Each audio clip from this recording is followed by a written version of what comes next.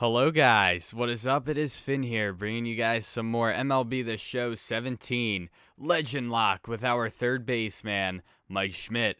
And uh, we are doing episode 2 this episode. So thank you guys so much for the love and support you've given me on the first episode. I'm really glad you guys enjoyed it. And I think I made up my mind to do, as you guys saw, or we'll see. Um, excuse me, I'll get to that in a minute. Um, that I am going to be doing only one player uh, uh, per season. So after this season's done, we're going to switch it over into another season, but I'll get to that in a minute. So I had some recording difficulties in an episode that I tried recording, so hopefully this one will be okay. But uh, there was one game that I wanted to show you guys that I played with Mike Schmidt. So I am going to roll that now. But before I do, let's see if we can hit 100 likes this episode. I know we can do it. So go ahead, hit that like button, show that love and support, and subscribe if you guys feel ever so kind. And uh, here are the clips from that game. Uh, but I will warn you that there are some uh, audio issues. So uh, please forgive me for that. But here it is. All right, we got Alex Wood, who's a lefty, so we're going to go ahead and take him on here, and hopefully we can do well. Last eight games. Well, Matt, it's always nice to play. Oh, yes. Hold on here. Finally, deep left center. it is possible. Jeez, about time. Finally got a hold of one against the lefty Alex Wood. So a two-run shot to left center. Sixth home run on the season. Our sixth home run. Phillies have taken a two to nothing lead. See, I think we could do a little bit. I think we could have a good season. I just want him to get around 250. That's what I want his average to be for the season. Not asking for 330 with 50 home. I want him to hit around 40 home runs, 35 at least, and bat over 250. That's all I'm asking for. But that might be a lot to ask for. But with a guy with over 90 power, I don't think that's too much to ask for. Two-run homer is first. All right, let's try this again here. All right, that was nowhere near as good as the last hit we got. oh, man.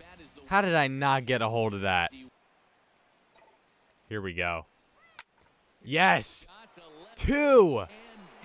A multi home run game for Mike Schmidt. here, and I mean by plenty. That ball was Another one. We're ending the episode here after this game. Because I know the next one I'm going to go f- like over 5. his second of the game, and it's now See, I'm okay with having a guy like this that either gets a home run or strikes out. You know, I'm all right with someone like that. But as long as he's got a good average or at least a lot of home runs, you know. But I think what I'm gonna going to do once I get done the season with Mike Schmidt is I think I'm going to make a, a vote video where you guys decide. And we won, so that's good. Uh, for what legend we do. So I'll probably pick like four players, three or four players, and whatever one wins, that's who we will do for the next legend lock. So I think I am going to only do one season with Mike Schmidt. I think that's uh, that way, you know, we keep it fresh every season. You know, we have someone else. So I don't want these these uh, you know, this series to be too long. So it'll probably be like uh maybe two episodes per in-game month. But I would like to get done each player within a month in real life. So that's what I'd like to do. But we won seven to four. Mike Schmidt's got to be player of the game. He's just got to be. Yes, he is. I mean, he went what? What did he go? He went two for four with two homers, four RBIs, and two runs. So good stuff there. So yep, a two home run game for Mike Schmidt, but he is still slumping a little bit. He's only batting 179, but he's got seven home runs, 16 RBIs. He's up there for league leaders. I think he's top five, something like that. Actually, we can just go ahead and take a look. He is, uh, yeah, he's top four, I guess you could say, or top 10 at least, top seven, whatever you want to say. But um, tied for fourth, right? That's what it was, fourth, I think right? Yeah, he was tied for fourth. But um, let's go ahead and play this game against Brett Anderson, and uh, yeah, let's hope for the best. Two balls and a strike. Here it is. Sky Oh, that was a perfect pitch to take yard. read on it. Ah, Makes the play. come on, I want to be playing like we did in the last game. I'm not even asking for a lot of home runs. I just want to be getting hits. in this one. In the air. Oh, maybe. Nope, has got it. Just kidding. At least we're getting decent hits. No fielding opportunities either. And I know I'm on all fielding opportunities, so I didn't leave it on none. Come on.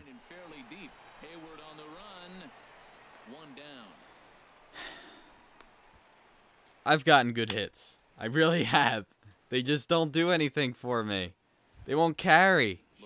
The strikeout. Here's the one-two to third. Here we go. Here's a play finally. There we go. And a good chase a fastball out of the zone away or up, but when it's way down like that, it's much easier to lay off because you can tell the ball is moving Come on. Don't be doing this to me now. got And, the O count to sit him down on well, I got a feeling that's going to be it. Not too often you see And it is, so off to the next game. Hopefully we'll be better than this one. struggle for him at the Here we go. This year. Pitch swung, Alright, not the best timing that I wanted. But it's actually going to fall. Go back though, because he hit the cutoff man. So now they'll have runners I actually was trying to pull that, but you know what? That's okay. I'm going to steal here, because I got a feeling this is going to be an action pitch. Try and time this right now. And two count. Here's the pitch. Ooh, I got it. Corner, and that If only that went down the line. Well, at least we got our first hit. Or our team's first hit, I should say. His wind up. Here comes the 1-0. Skied in the air. Oh, and I pop it up. Of course. He hauls it in without any trouble. All right. You know what? I know I got two home runs this episode, but still, I mean, I just haven't really had any good hits, like doubles or anything like that. Here we go, though. Hot shot on the ground is Of course, I just hit it right to the shortstop. I don't know what it is. I guess. I think it's because if I do get a hit, it's a home run. So I think it has to do with his contact. His, his contact's pretty shitty. I mean, it's only 58. So I think that's the problem. This has been a quick game, though. Delivery to him on the way. Now a swing and a Uh, ground ball. that should do it. And it will. for the first, Of course. ball game is over. All right, we're playing one more. it from the face and That was just horrendous. Whole with that, but if it were a little low, Oh, and Oh, we talked okay. that pitch got That would have been very embarrassing if I did fully swing at that, but at least I'm on pace. yeah, I can hear the crowd murmuring now, especially when facing hitters as dangerous Come on, pick is. me I'm off. pretty sure this one Just just kidding, please don't. and, hey, that's part of the game. And he's gonna hit into a double play. ground to first, could be two. Well, maybe not. The second for one. No. On to first, but not in time as Not he a very good throw. throw. Okay. I don't know if I've ever seen a throw like that. So three nothing now, so that's good. Hopefully we can get Baez here. 2-2 pitch. Grounded to third. Here we go. And the third to first will be in time. Oh, He's going to go to second. So now we got a runner in scoring position.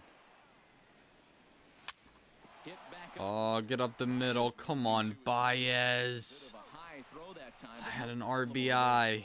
As they record the out. Thanks. Ball two strikes. Now I got it. up. Schmidt Here is we go. And settled under it. And he makes the catch. We got it.